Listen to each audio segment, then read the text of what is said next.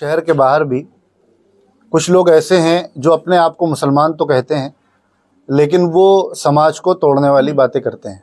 और आज से नहीं, तकरीबन 125 साल से ऐसे लोग मौजूद हैं। इन्होंने अपना एक नबी, मैसेंजर बना रखा है, जिसे ये गॉड का मैसेंजर कहते हैं, अल्लाह का।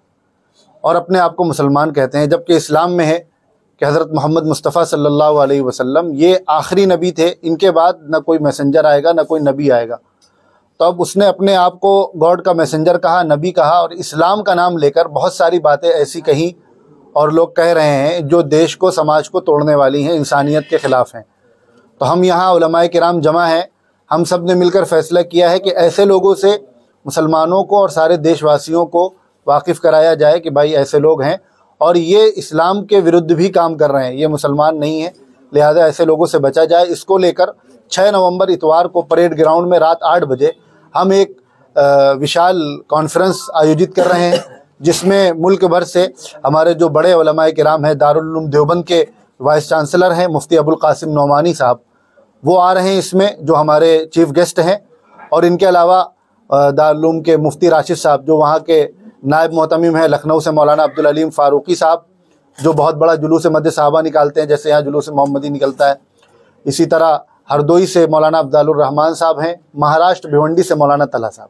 ये हमारे बड़े बड़े उलमा हैं जो पूरे देश में नुमाइंदगी रखते हैं और देश के बाहर रखते हैं और फिर दारुल देवबंद के वाइस चांसलर का आना। तो ये बड़ी कॉन्फ्रेंस हो रही है ताकि जो लोग भी समाज में धर्म के आड़ लेकर बांटने का काम कर रहे हैं उनसे समाज के लोगों को आ, वो किया जाए बचाया जाए। कौन लोग हैं जो ऐसा कर रहे हैं?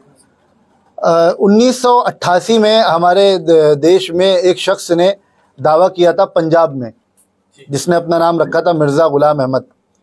कि मैं गो, गो, मैसेंजर हूँ गॉड का और ये जो लोग अंग्रेज़ के विरुद्ध लड़ाई लड़ रहे हैं ये सही काम नहीं कर रहे हैं। उसके मानने वाले आज तक मौजूद हैं। जो भी जुल्म के खिलाफ नाइंसाफ़ी के खिलाफ या गलत को गलत कह रहा है ये लोग उसके खिलाफ हैं। साहब, ये जमीयत की जो बेदारी कॉन्फ्रेंस है, ये पूरे मुल्क में होगी या यही ये पूरे मुल्क में होती है। हम इसको अभी कानपुर में कर रहे हैं। ये और जगह भी होगी। अभी फरवरी में शाहजहांपुर में होगी फरखाबाद में होगी, और जगह होगी। अभी ये कानपुर में की जा रही है और इसमें तकरीबन 20-22 ज़िलों से हमारे उलमा भी आ रहे हैं और बसों के ज़रिए लोग भी इसमें शरीक होंगे। प्रमुख एजेंडे क्या रहेंगे इसमें कॉन्फ्रेंस की? कॉन्फ्रेंस का प्रमुख एजेंडा एक तो मैंने जो बतलाया वो ये है उसके अलावा बीते दिनों में जो कुछ हमारे देश के हालात बने देखिए हम मुसलमान हैं अगर कोई ऐसा काम हो रहा है कोई धर्म का नाम लेकर इस्लाम का नाम लेकर कोई ऐसी बात कर रहा है जो इस्लाम के विरुद्ध है तो हम हम अपनी ये ड्यूटी समझते हैं कि हम उससे लोगों को बतलाएँ कि भाई ये इस्लाम नहीं है ये धर्म नहीं है। तो यही इसका मुख्य एजेंडा है और ये देश के हित में भी कार्य कर रहा है